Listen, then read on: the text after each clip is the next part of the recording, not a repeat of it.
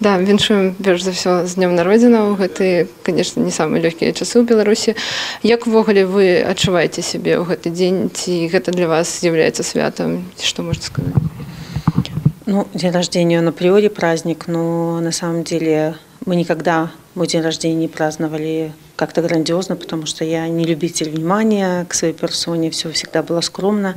Мне было достаточно, что меня э, поздравляют мои родные, муж, дети, и так в тихом семейном кругу обычно праздновали.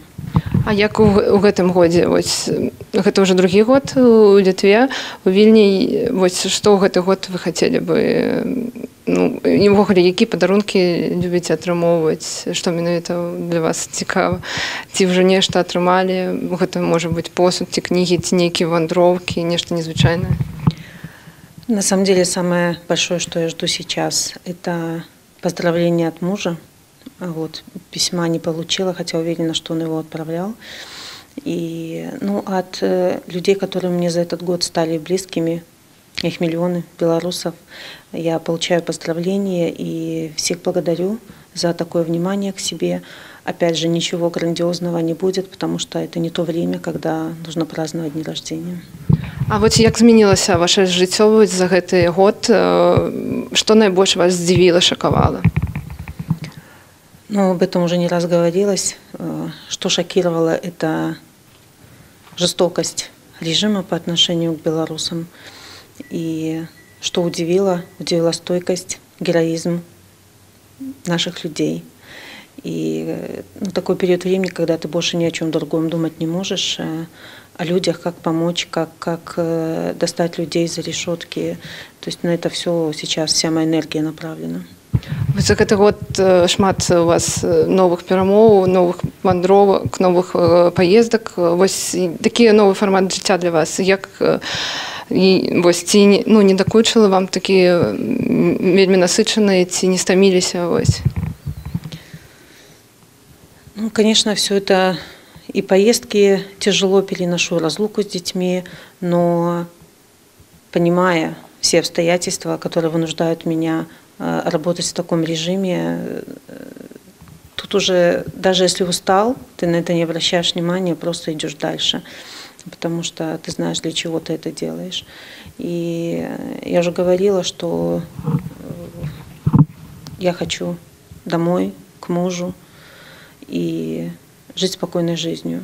Но, к сожалению, так вот мне пока не получилось, но я делаю все возможное, чтобы вместе с белорусами быстрее этого достичь. калі казаць пра вынікі году як гэты год прайшоў для вас для дзяцей Дети очень тяжело адаптируются к жизни без папы, и жить в чу- в чужой стране, которая стала на данный момент вторым домом, все равно сложно. Э, Скучают по одноклассникам э, и э, хотят домой, естественно. Но мы там, где мы есть, и я делаю все возможное, чтобы у детей моих было детство. А ці не адчуваеце вы вось за гэты с- ну вось год э, такая сітуацыя склалася што ну можа вы падманулі беларусаў бо шмат разоў казалі пра перамовы з уладамі якія вось вось павінны пачацца нават даты называлі вось Э, Даты мы никогда не называли, мы называли май тогда, начало переговоров. Мы делали все, чтобы организовывали э, э, эти переговоры, платформу, площадку, но э, тут, знаете, нужна заинтересованность двух сторон. И э, мы продолжаем на этом настаивать. И все наши, э, все наши и визиты, и инициативы, они направлены на то, чтобы э, принудить режим пойти на эти переговоры. А, ці зараз адчуваеце нейкі здвиг у гэтым накірунку Э, Вы знаете, люди, которые вокруг режима, я буду называть, и бизнесы уже обращаются к нам э, с попытками установить контакт, как они могут быть полезны. То есть там тоже происходят э, процессы, они, наверное, невидимы глазу, их тщательно скрывают, но они идут. Э, Очень тяжело людям, белорусам, потому что ну, легко, наверное, руководить, когда у тебя есть репрессивная машина. Но люди стойкие, люди продолжают бороться, но и режиму не сладко. И там все понимают, и тоже уверена, что э, тяжело работать и в режиме сейчас, учитывая ситуацию.